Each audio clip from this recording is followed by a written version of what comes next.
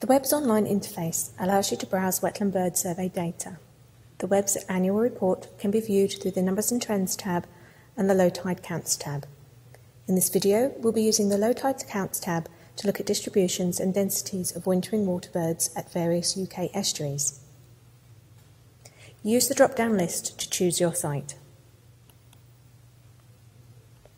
Sites are listed alphabetically but if you start to type the site name, it will appear.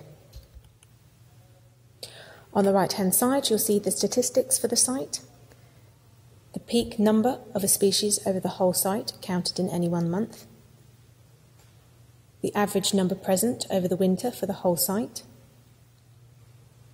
and the average density over the site.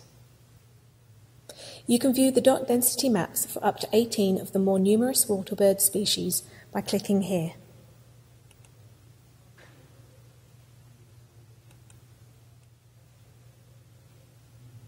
The dots represent the average count for each section.